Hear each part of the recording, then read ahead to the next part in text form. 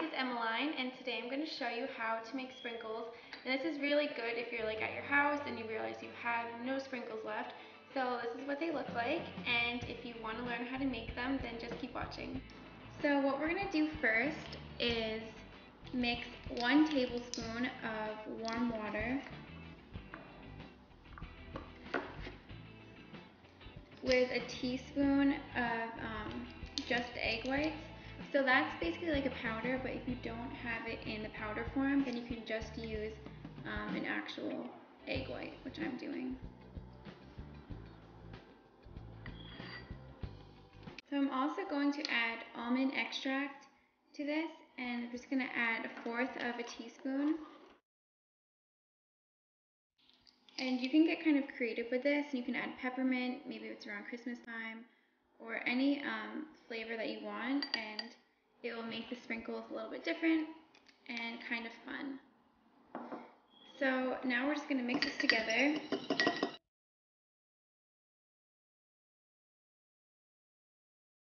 So now we're going to add two cups of confectioner sugar and you want to make sure that it is sifted because if it's not, it can really make um, everything all clumpy. And I had already actually started to make it and I forgot to sift it, so that's why there's already sugar on the outside of the bowl. Okay, so now we can add this mixture into there. And just start mixing it together.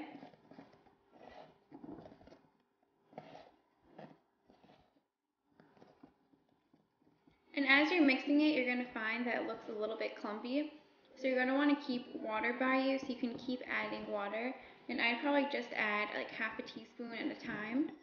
This is the consistency that it should be. And um, I think in total I probably added maybe like a fourth of a cup of water.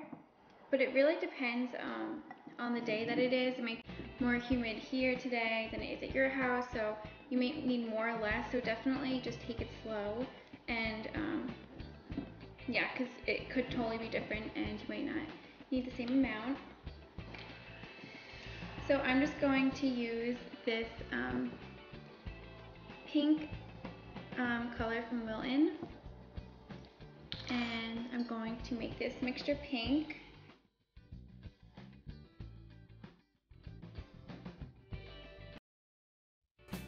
And now um, I just have my piping bag. So I'm just going to use the number two tip.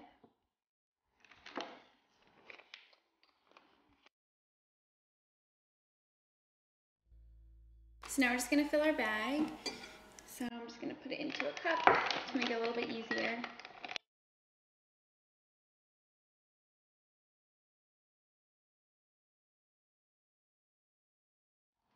Okay, now we can take our bag out.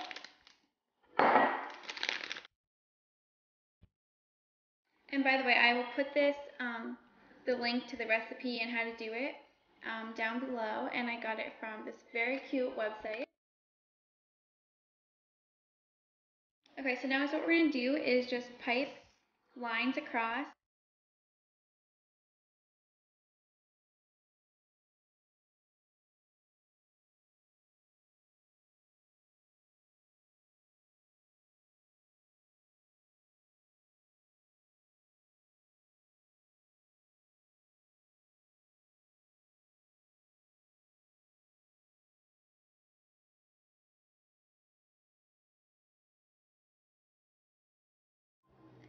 So here are my um, icing strips, and they said, um, and the website says to let them sit for 20 to 24 hours so they can fully harden. So I have like this whole bag still to pipe, so this definitely makes plenty of sprinkles. So I'm going to keep piping and let these sit again for 20 to 24 hours, and then I will show you what to do after that. So this sheet is already hardened and it hardened for um, a little over 24 hours. So it's um, the pieces are going to be just like very um, hard, obviously, and they're kind of brittle. So you want to be careful of them.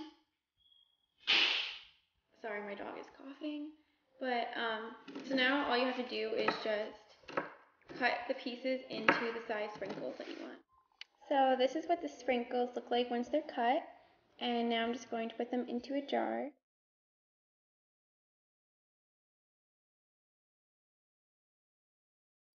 So I think it looks really cute when you put them in a little jar and it's a cute little easy gift for somebody.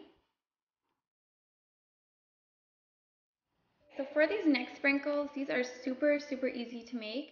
And this is kind of if you're maybe home making cupcakes or cookies or something and you realize you don't have any fun sprinkles, um, this is just something really easy to do. So what you need is just some granulated sugar, have um, normal type of food coloring. Like if you only have these gel types, um, it's not really going to work that well, and it will kind of just like sit in um, the sugar and just clump together instead of mixing throughout it. So what I did was I put some of the gel food coloring in a little bottle and I put some water in and then I put it in the microwave for a few seconds. So now it is a liquid and just mix it up.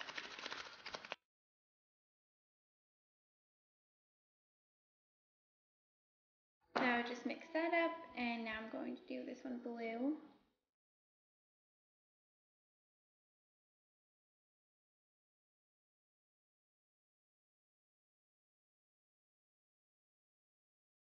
So once the um, sugar is on the plate or the tray or whatever you put it on, you can just let it sit out for 30 minutes and it will get very hard and crunchy like this. So I'm just going to put it into plastic bags and kind of just bang it out so that it gets back to little small crystals.